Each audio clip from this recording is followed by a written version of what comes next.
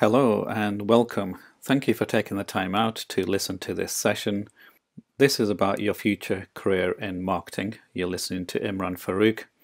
And my big promise to you is that I will be sharing things with you that will have a significant impact in planning for your future career pathway in marketing.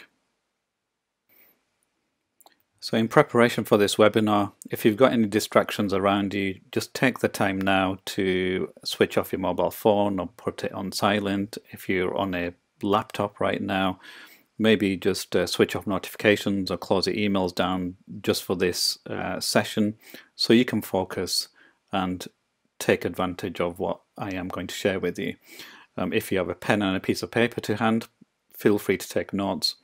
And whilst I'm presenting, I'm going through the slides, look for the one or a handful of things that you can take from this presentation and take action on straight away.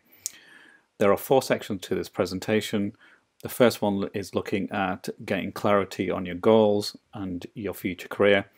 Second one is to zone in on looking at what are the things that are barriers, potential barriers stopping you from hitting your goals.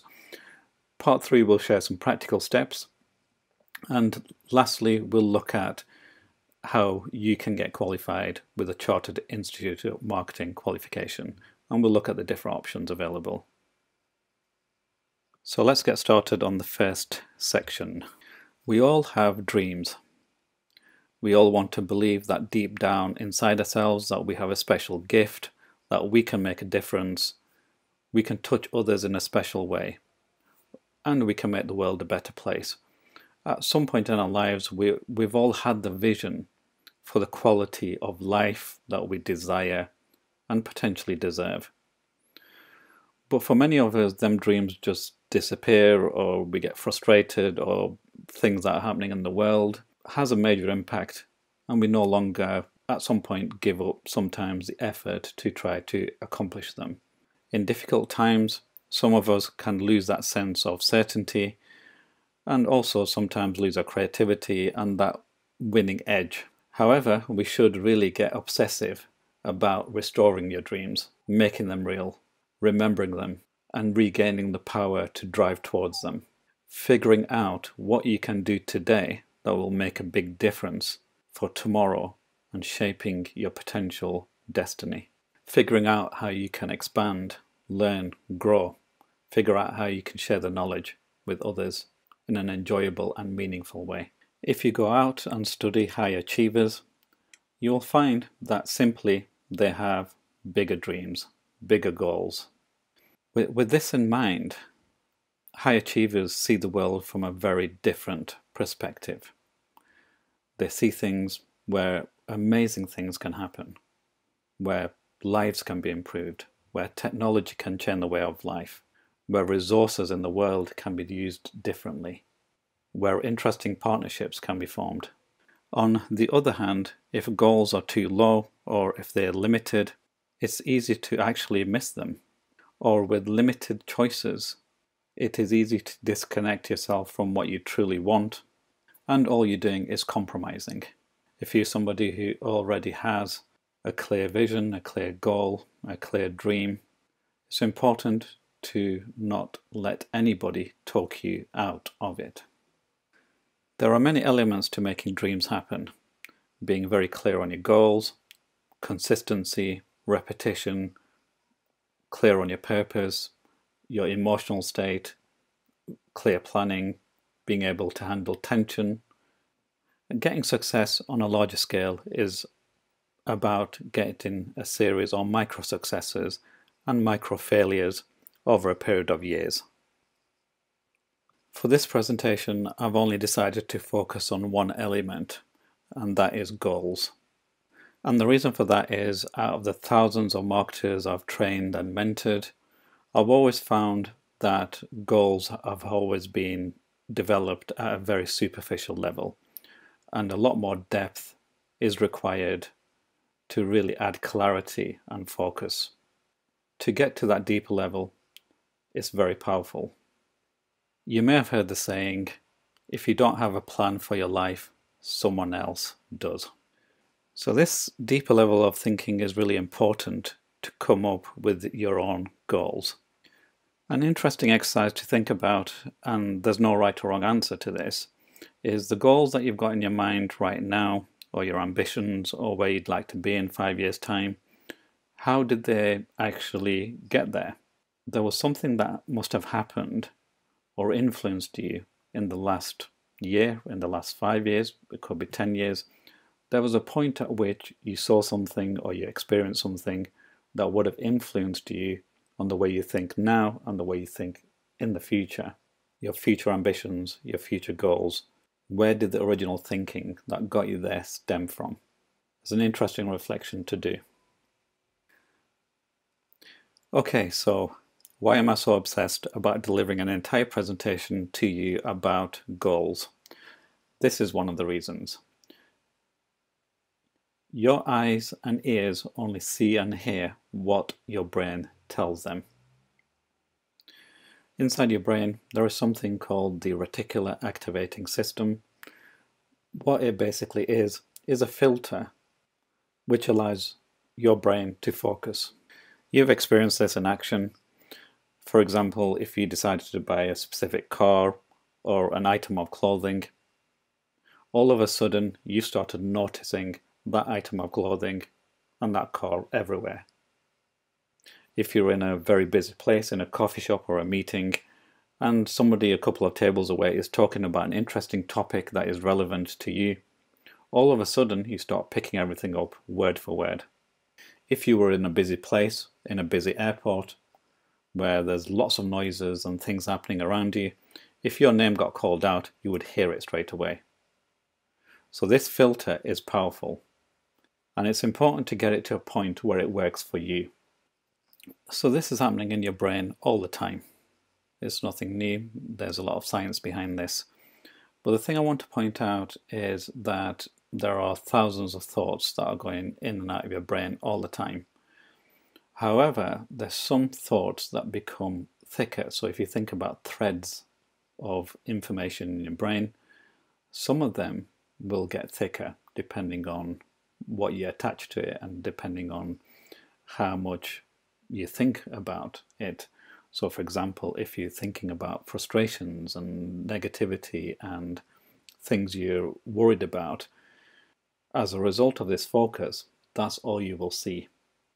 The challenge we have as marketers in the world ahead some marketers are going to be very successful, some marketers are going to struggle. And it's important to be in a position where you see the opportunities. Some of these opportunities already exist around you.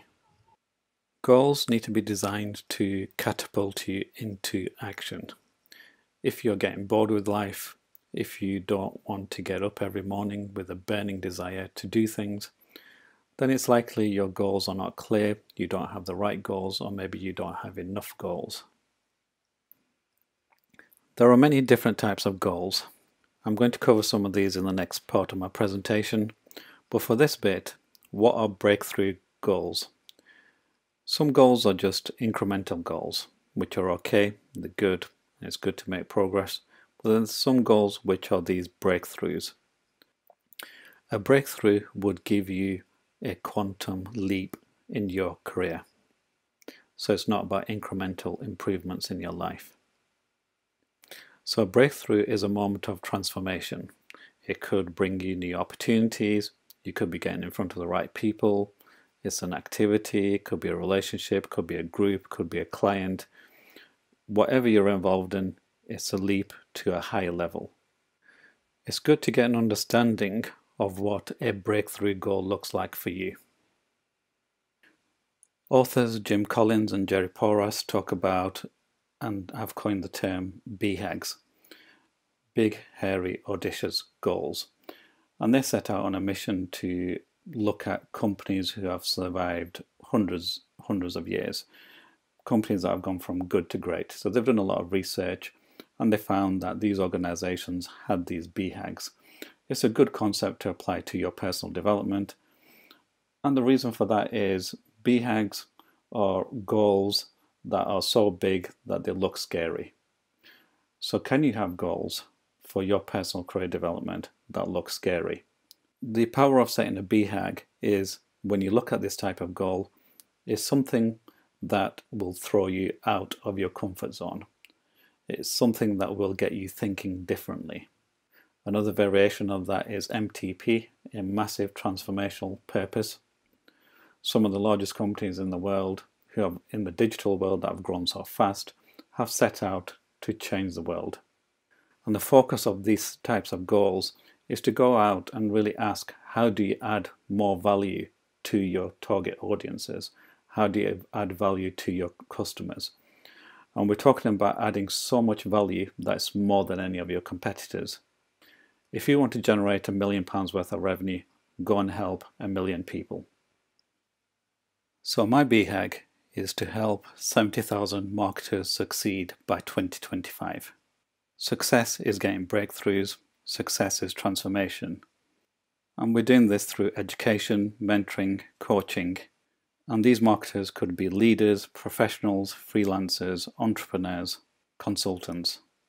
I've been helping marketers for the last 20 years, and we're on an interesting journey. And in fact, I was there when the dot com bubble burst, the economy was going through tough times. And in fact, it was times when marketers were the first to be made redundant.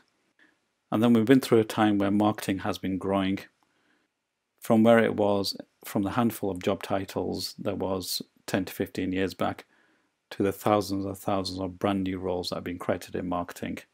There's interesting times ahead because we have come full circle, and I think there's a new challenge ahead for marketers. I've played many roles in educating marketers. Um, I've been pioneering qualifications in marketing and digital marketing. I head up an organization called MMT Learning, which is a joint venture company with the Manchester Metropolitan University. It's an accredited study centre for the Chartered Institute of Marketing. We deliver qualifications at level 4, level 6, level 7, and also a Masters in Digital Marketing, which was a world's first in partnership with the Manchester Metropolitan University. I also like to go hands-on in digital marketing, so I've helped many organizations consulting on automation, digital marketing, which in turn has generated millions and millions of pounds worth of revenue for the businesses I've worked on. Feel free to connect to me. I'm open to helping you on your journey. If you need somebody to bounce your ideas off or help with your CV or your career ahead, feel free to ping me a message. I'm always happy to chat and jump on a call with you. My purpose and passion is to help marketers, and we've learned so much across the last 20 years, and we're keen to pass this wisdom on to the next generation of marketers. Okay, so let's jump into the next part of the presentation. Let's have a look at some practical steps that you can take to get clarity and set your goals. There's a magic of taking a pen to a piece of paper. And unfortunately, in the digital world we live in today, we've kind of lost it. So start writing things down. You could have a book which is dedicated towards your goals. And it doesn't have to be a linear list. You can get creative, add pictures, words, different phrases, cut things out, put visuals in there. And as your goals and desires evolve, simply add as you're going along.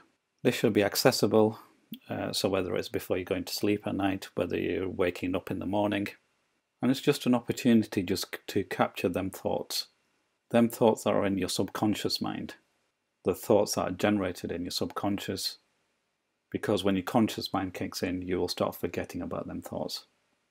And some of your genius ideas will come at different moments in time throughout the day, throughout the week. So get them captured so it allows you to develop the thinking around it. The focus of this is on you. The focus of this is to get attention and direct your brain. You probably spend lots of time planning your holidays, planning other things, helping other organizations meet their goals, meet their marketing campaigns, meet other organizational objectives. But this activity is diverting attention to you and your future. There are two future scoping exercises that you can do to help you get some clarity. So the first one is something that uh, Jeff Bezos, founder of Amazon, has done many times uh, when he is planning his goals, his future. And this exercise, uh, first exercise, is visualizing yourself or projecting yourself into the future. Um, it's also called the rocking chair exercise. But ba the basic premise of this exercise is to project yourself 10 years into the future and imagine yourself 10 years older than what you are now. Or imagine yourself as an 85 year old sitting in your rocking chair. And whilst you're thinking, um, and if you don't change your life, if you just keep living the way you are now, where are you going to end up? What are the things that you're going to be thinking about that you are going to regret not doing in your life? So put yourself there, and then after you've done that exercise, you come out of it and then you list all the things that you would have regretted that you should have done in your life. I do this exercise many times. I find it really helpful. It's better to look forward than to look back and say, right, I wish I had done that five years ago, or instead of looking backwards and having regrets. This is actually a big opportunity for you to really think going forward and not to have a list of regrets in 10 years' time. The other parallel exercise, again, I would recommend, I've done it many times myself, is to uh, take a piece of paper and list a 24 hour clock in one column on the left hand side and start writing down what your perfect future day looks like. What are you doing at each hour of the day? What activity are you doing?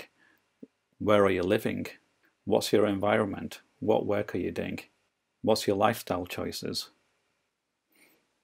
So when you're mapping out your goals, you have to go deep.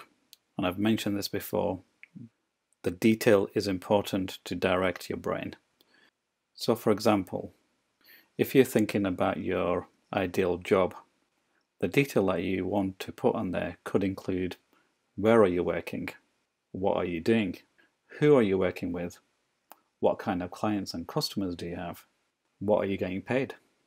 If you get this role, what does it mean to you? Let's take another goal as an example, which might be related to your body and your physical health. Are you looking to be free of all diseases? Are you looking to get pain free? Do you need flexibility and strength? What's the balance of exercise? Eating good food, drinking lots of water. How much do you weigh? Are you looking to be more relaxed, have more energy? And any of these goals that you're coming up with need detail and measurement. If you're programming yourself with generic goals, like I want to earn more salary, I want to earn more income, if you got paid an extra £10 per month, technically that you've achieved that goal, but it's probably not what you were thinking of. I want to share a model with you that will help you develop a focus and goals at different levels. And this is a model by author David Allen. He's one of the world's most influential thinkers on productivity. And he came up with this model, Horizons of Focus, where he uses the analogy of an aeroplane flying at different levels. He talks about this in his groundbreaking book, GTD model, which he came up with, Getting Things Done, The Art of Stress-Free Productivity. So how can this help you? Let's have a look at the first level, level 5, 50,000 foot. So at this level, you're planning your vision, your why, your purpose. What is the reason you're doing what you're doing right now? This is the thing that you would find most fulfilling. It's what inspires you. Or if you look at the view of the ancient Greeks, start with the end in mind. This could also include the standards that you need to meet for success, the behaviors you need to have. Level 4 is building on that further, so you're thinking about what the vision will look like, what will it sound like, what will it feel like. These characteristics with the vision being fulfilled with outstanding implementation. The goals that you're setting at these two levels are goals that you would look at achieving 5 to 10 years down the line. Level 3 is more related to your next career move. So something that is maybe 12 to 24 months down the line, if you're working your way up the marketing career ladder, what's your next move? What's the next role that you want to go into? And whatever goal you come up with at this level, it should still be in alignment with levels 4 and 5. Level 2 is about keeping the engines running. So you're going to have multiple goals at this level. You've got more than just career goals, you'll have other goals related to your family, health, and many other things. So there's many balls to juggle in the air, and a challenge to everyone in keeping this work-life balance. And finally, we have the ground level, the runway, and level one. So the runway is about the current visible tasks that you've got, your daily goals, your micro goals that you need to achieve, the phone calls you need to make, the meetings that you need to set up, the emails that you need to send. And then level one is the campaigns that you need to do, the projects that you need to complete. So the difference is one of them is daily and the other one, which is projects, could be three months, six months, up to one year. So this is a great model to apply to your goals, to get your goals into alignment. For example, you could be busy doing your day-to-day -day work and it might be out of alignment. And a lot of people in their life discover that they've been working every day for a number of years and at the end of it they've not really got anywhere close to achieving where they want to be. So once you've got your goals written down in a high level of detail, here are some activities that you could think about doing. Firstly, your most important goal should be visible and should be placed on items around you that are going to remind you of that goal. So for example, it could be placed in your wallet. So every time you open your wallet, you see the goal. It could be placed as a picture on your phone, on your home screen. Could be a screensaver, could be pinned up to, on your wall. Any location that can act as a reminder. Having the discipline to read your goals out loud is important because it allows your brain to connect the dots. Or you could go one step further. Uh, when you've finished writing down your goals, you could start sharing that out with immediate friends, family, or beyond the groups you work with. And also, what you'll find is that sharing your goals, sharing your BHAGs, your vision, your purpose, will actually have a very interesting response. It will attract the right people to work with you, and it is a good path to becoming a magnet and an influencer and inspiring the people around you. There's many tools you can use to map out your goals and productivity actions. These are offline tools and online tools. I am a fan of vision boards. If you're doing on offline activity and having a goals book, if you're going online, there's many tools. I like using Trello. And if you've got your goals mapped out, I'm happy to share my experiences and share how I've set up Trello for my goals and productivity. Okay, let's move on to part three. This section is about identifying and removing barriers. This is an essential topic. In my experience of mentoring and coaching many marketers, what I found is that there are marketers who have the right skill set, the right level of experience, but for some reason they're not progressing to reach their goals. So therefore the challenges are more internal. So it's not about doing more to achieve your goals or finding different ways to achieve your goals. It's about removing barriers that are stopping you from reaching your goals. And I'm going to look at some of them in this section. It's important for you to think and reflect. Are these barriers stopping you from progressing? So before I look at them barriers, or we could even call them fears, it's important to understand tension. Tension is important. If it's non-existent, you won't have the drive to progress and reach higher goals. If there's too much tension, then it will stress you out, frustrate you, and you'll fall back. Every time you move into a new situation or a new scenario or progress into the next level, you will always get a level of new tension. Those that master tension, those that understand it, will use that tension to progress, will turn that tension into energy, will have the ability to control the emotional roller coaster ride. This is a wider topic, maybe for another presentation, but at this stage I just wanted to make you aware as we've been discussing about progressing, reaching higher goals, and it's important to look at how you become a master. And this is a general life skill. As you get older, you'll have to figure out how you manage tension in all aspects of life. Okay, let's have a look at the top seven fears, roadblocks, barriers, which can stop you from progressing, which can stop you from hitting your goals. So the first one is something to do with yourself. It's the way you look, not having the right body or the right vitality.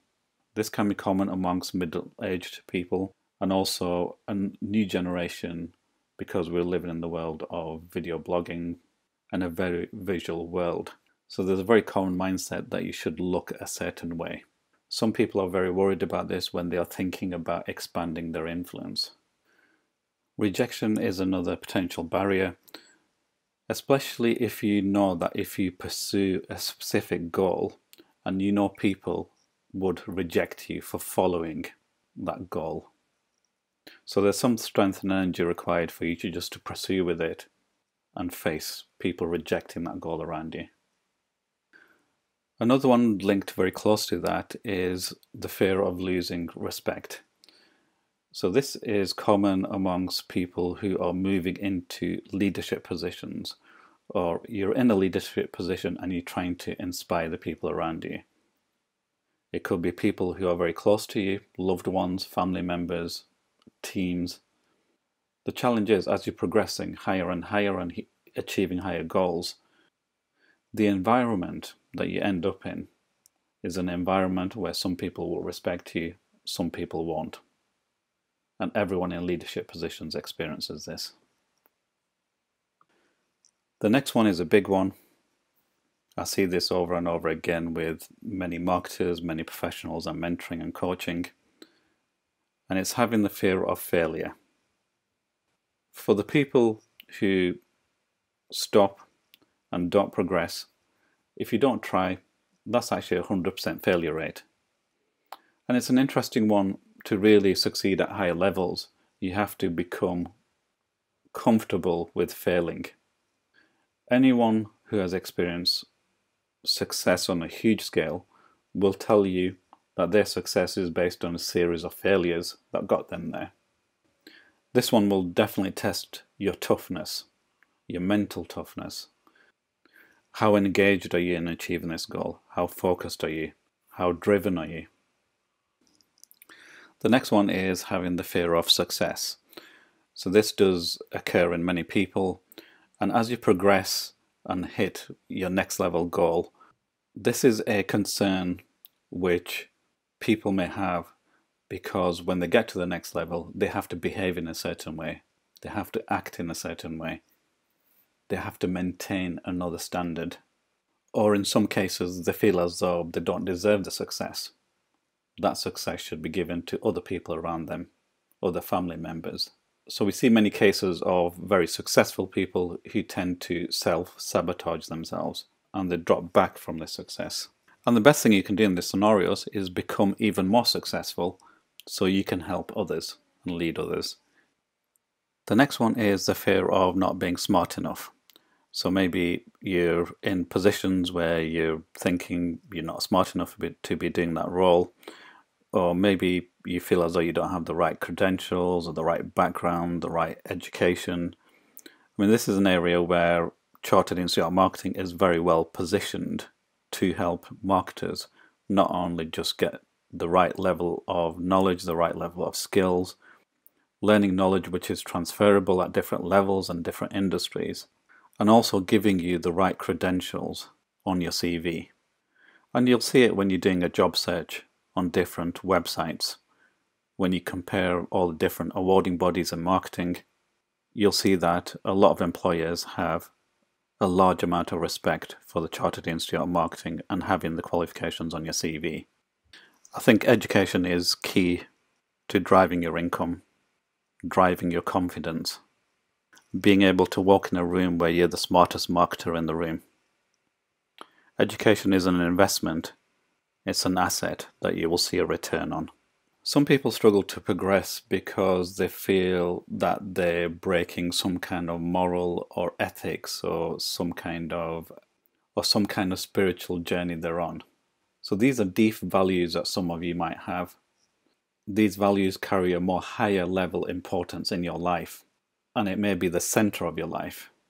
And in this case, if your spiritual self is not aligned with your career goals, you will fail in your career goals. And going forward, there's some thinking to be done to get an alignment between the two. It can be easily done, and it's very powerful when it happens. The last one is another interesting one because I'm seeing more and more marketers break out of their 9 to 5 jobs and go freelance, become consultants. So there's a real challenge here around money, the fear of losing money or not making enough money. This is an area that requires attention. As well as it being a physical element, it's also a mindset element. We all have been brought up with a specific mindset around money. Some of it might be productive, and in a lot of cases, that mindset may actually become a big barrier for you to progress. Either way, you need to master your knowledge around money, income, different streams of income, understand your own spending. What is an asset? What is a liability? So on this slide, I've covered many barriers, many fears. So the purpose of this is not to get you more stressed out, is to get yourselves into a position where you're thinking about these, where you're starting to think a bit more proactively, really identifying are some of these things stopping you from progressing. There are many tools and techniques out there to help you smash through these barriers. And again, you're welcome to give me a call, and I'm happy to share my insights in how you can break through some of these.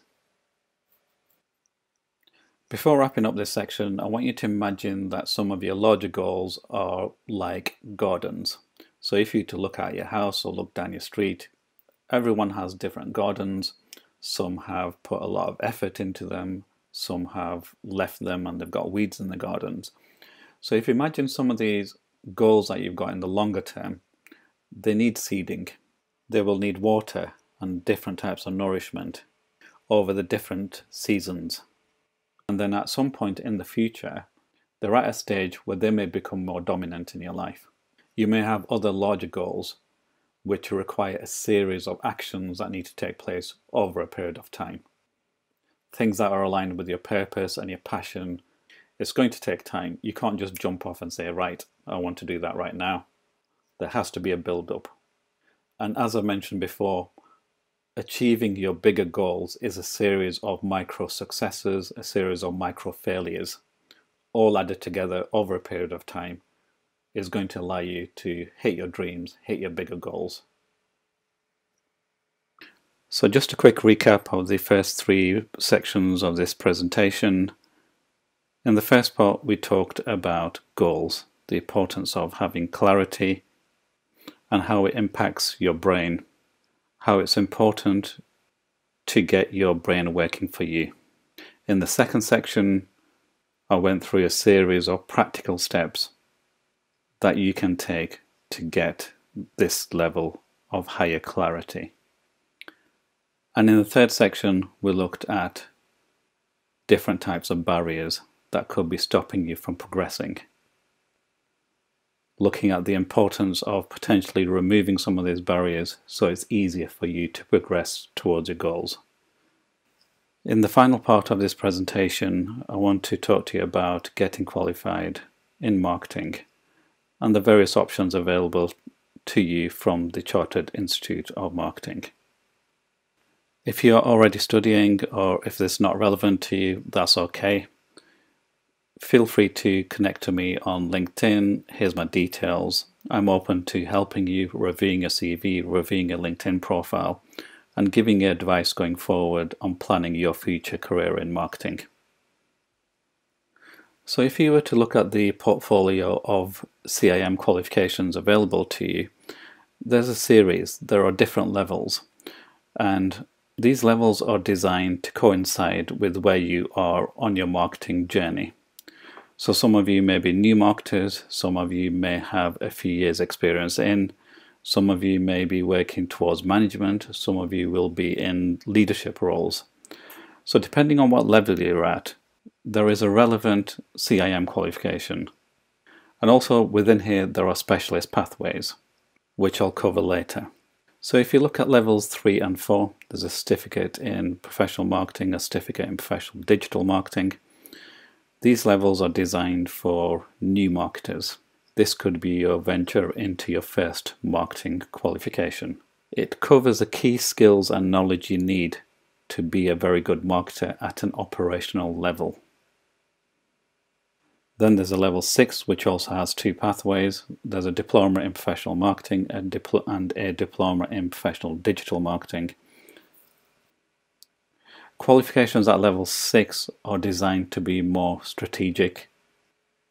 These qualifications are designed to make you a better decision maker, a better strategist, a better manager. So this is good if you are already in a management position or you're working towards a management position in marketing. And finally, there are also level 7 qualifications, and these are for really experienced marketers. You may be working in leadership positions. One of the things that I want to point out here is within each of these qualifications, there are modules and then modules can be taken individually which also lead to a qualification. So this is a powerful way of dipping in and out of different modules. They may cover very specific knowledge gaps. Some good examples of this is if you want to do the digital marketing modules, there's modules in digital marketing at all the different levels. This is a great fit because you may have a very specific scenario, a, a, very specific skills gap that you're trying to address. You may have a few challenges ahead which will require you to do things which are more specialist. So there's quite a lot of flexibility going in between levels and working across levels. So I'm just going to walk you through a level 6 just to give you an example of what I've just been explaining there. So let's have a look at the level 6 diploma in professional marketing. So to get the qualification you're looking to complete three modules. There are two mandatory modules and then you've got the option of choosing electives. So in this scenario you've got the diploma in professional marketing you do the first two modules and then you've got a choice of selecting the three modules available on this page. On the same level, there is an alternative pathway. So you could do the level 6 diploma in professional digital marketing. So in this case, you would still do the same first module, which is a shared module across both level 6 qualifications, marketing and digital strategy. And then you would do another two digital modules, and that would give you the diploma in professional marketing. For those of you that want to get the best of both qualifications, it's actually possible to do four modules across both qualifications and actually come out with two qualifications. So you could come out with both the Diploma in Professional Marketing and the Diploma in Professional Digital Marketing, which you can put on your CV. To do this, you would do the modules that are highlighted in blue here. And as mentioned earlier, you might be in a situation where you have little time and you don't want to commit to a full qualification or you may have a specific knowledge gap or a specific need. So this lends itself to doing individual modules and these modules are still qualifications, they're called awards. And we get many candidates going for these options because they're bite size, they're a bit quicker, and you can do them in less time. So for example, if you decided to do the marketing and digital strategy module on its own, you would still come out with a qualification, an official qualification from the Chartered Institute of Marketing, and that qualification will be called an award in marketing and digital strategy.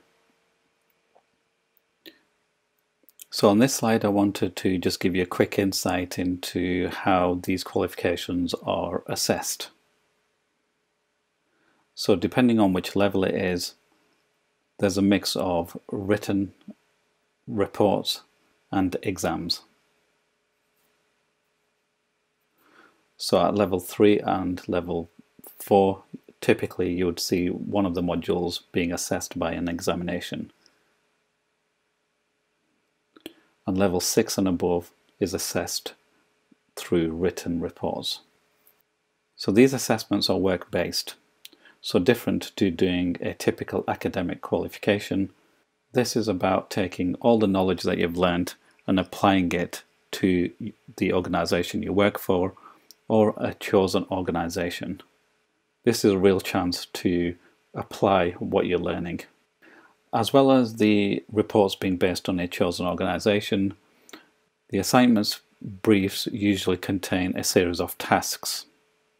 These tasks are based on the syllabus and also based on selected themes and scenarios. There's now a series of these themes that you can choose and it's likely that you'll find something that is relevant to your industry and the organization that you work for. The marking system works in grade format and the pass mark, which is grade C, is set at 50%. There are several points in the year where you would work towards handing in your assessments. Or there's certain points in the year where you would sit exams. These three points are well spread throughout the year, so you have some flexibility in deciding which assessment boards to submit your work towards. If you don't make the pass mark, there will be opportunities for you to do resets.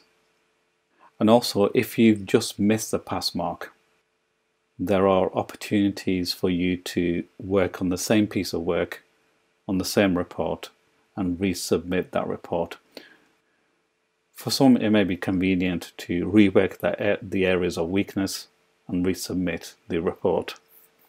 There is lots and lots of support available to you around assessments. So there's an entire area on a website designed by the CIM to give you all the relevant resources, the guides, detailed assignment briefs, PowerPoint presentations explaining the assignment briefs, as well as lots of support available from the study centre that you sign up with. You will be well supported in your journey to tackle these assessments.